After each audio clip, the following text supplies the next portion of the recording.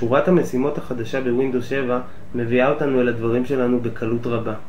בריחוף קל על הסמלים בשורת המשימות ניתן לראות בבירור אלה תוכנות פתוחות ולהגיע אליהן בצורה קלה. כמו כן, ניתן לשחק עם הסמלים בשורת המשימות בצורה כזאת שכל אחד יכול להתאים לו את הסדר שנוח לו. בצורה קלה מאוד ניתן להצמיד תוכנות נוספות אל שורת המשימות, וכמובן להשתמש ברשימות קופצות.